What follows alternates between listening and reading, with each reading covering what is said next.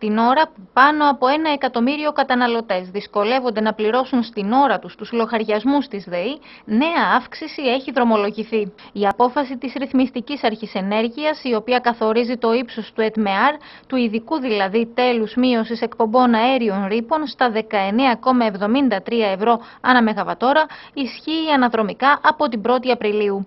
Η αύξηση ανάλογα με την κατανάλωση του ηλεκτρικού ρεύματος θα φτάσει τα 5 ευρώ. Βγήκαμε γρήγορα και έγκαιρα και ενημερώσαμε τον ελληνικό λαό για το ΑΠΕ και για το χαράτσι αυτό το οποίο δεν έπρεπε ο ελληνικός λαός να το πληρώνει.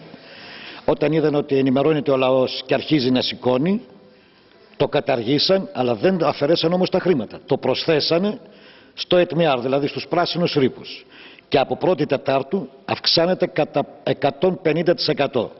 Μην τρομοκρατηθούμε στις επόμενες, στους επόμενους λογαριασμούς που θα δούμε, γιατί θα έρθουν και άλλες αυξήσεις μετά το, τις ευρωεκλογές. Σύμφωνα με την κείμενη νομοθεσία, ο φόρος αυτός προορίζεται για την αποζημίωση των παραγωγών ηλεκτρικής ενέργειας από ανανεώσιμες πηγές ενέργειας. Δεν είναι δυνατόν όταν εγώ κάνω ένα φωτοβολταϊκό να περιμένω να μου πληρώσει ο ελληνικός λαός. Δεν είναι υγιής ανταγωνισμός αυτός και δεν πρόκειται να υπάρξει υγιής ανταγωνισμός με αυτούς τους όρους. Όποιος θέλει να ανταγωνιστεί τη ΔΕΗ να κάνει μονάδα παραγωγής δική του και να μπει στο χρηματιστήριο. Ενώ για τους μικρούς το είχαμε τονίσει από την ημέρα που εξήγηλε η Μπερμπίλη για τα φωτοβολταϊκά και ιδιαίτερα της Κυπής δεν είναι δυνατόν να υπάρξει αυτός ο ανταγωνισμός να πουλάω προς, τη ΔΕΗ 54 λεπτά την κιλοβατόρα και η ΔΕΗ να το πουλάει 20 και 22.